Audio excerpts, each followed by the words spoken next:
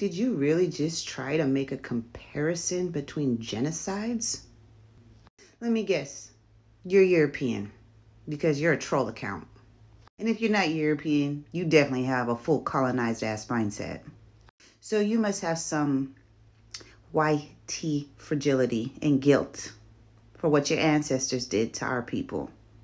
That's why it's so hard for you to comprehend that your ancestors committed genocide and tried to exterminate my people.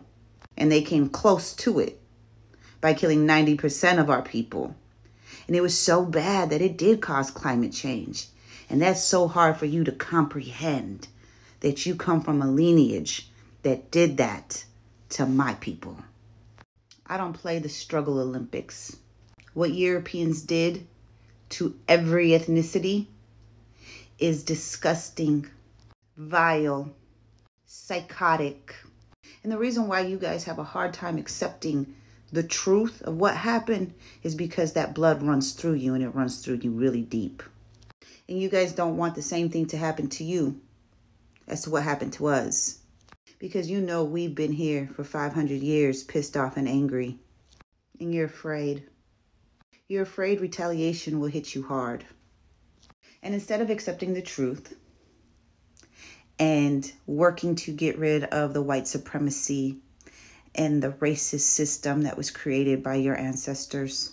You gaslight, you deny, and you run and hide. You know you're living on stolen land. And you know if any black, brown, or indigenous person had the majority of power in this country, y'all would all be deported and be sent back to lands that you know nothing about with people who look at you like you're different, who you have no connection to because you guys willingly gave up your cultures. We didn't. Now take everything I said and deal with it because I don't feel sorry for y'all.